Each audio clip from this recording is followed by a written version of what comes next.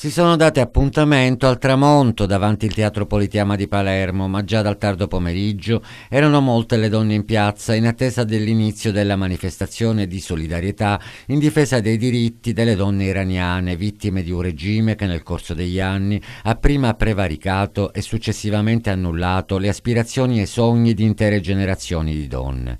Il velo islamico come obbligo, pena la morte, già causa dell'uccisione di numerose donne iraniane, una raffigurazione ristrutturazione medievale che nella città, patria dei diritti, ieri sera è stata contestata con la forza che solo la partecipazione può esprimere.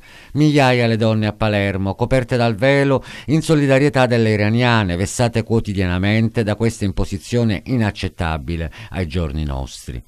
Una manifestazione apartitica e apolitica, ha sottolineato la organizzatrice Lavinia Sposito. Stanno aderendo in tanti, c'è gente che viene da Marsala, ci sono iraniani che vengono da Marsala, abbiamo donne da eh, Caltanissetta, donne da Casteltermini, cioè un po' tutta la Sicilia sta aderendo, a parte tutte le tante associazioni palermitane che parlano e che portano avanti sempre battaglie di diritti e di eh, aiuto, eh, che si occupano di sociale per i bambini o per le donne abusate, comunque sono tutte associazioni che credono insieme a tutte noi noi in questa reale battaglia per la libertà. Tante le organizzazioni umanitarie in piazza, da Amnesty a Meteollus. Noi scendiamo in piazza ogni qualvolta il diritto di protesta e i diritti umani vengano violati. In questo caso noi stiamo scendendo in piazza per far sì che il diritto di protesta venga tutelato e affinché venga fatta luce su quello che è successo a Masa Lamini rispetto a quella che è la sua vita che è stata uccisa in difesa dei diritti umani perché lei stava semplicemente facendo quello che stiamo facendo tutti in questo momento. Anche Meteollus eh, ovviamente aderisce alla manifestazione.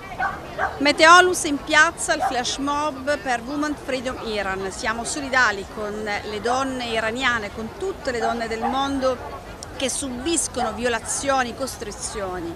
Dopo l'uccisione di Masha a Teheran, eh, l'Iran, le stesse donne, anche affiancate da uomini, hanno deciso di ribellarsi. Uh, abbiamo aderito a questa manifestazione, sono, non sono da sola, sono con Egle Mazzamuto, c'è Gerusa Barus. E, mm, daremo questo nostro contributo artistico proprio per, per, ricordare queste donne che sono state uccise in maniera impietosa eh, secondo una morale incomprensibile eh, siamo qui a, a ricordarle e a, a ricordare a tutti che i diritti vanno sempre tutelati. La mia presenza quindi eh, ritengo sia fondamentale, è una presenza autonoma, io sono un avvocato, mi occupo molto di eh, diritti delle donne vittime di violenza di genere. E la vicinanza a queste ragazze la sento davvero anche con commozione, con grande commozione. Eh, la morte di Saman in Italia è anche la morte di tutti noi. Il problema non è eh, portare il velo o non portare il velo, il problema è l'obbligo di portare il velo. Di Iran ha parlato anche un iraniano residente in Italia.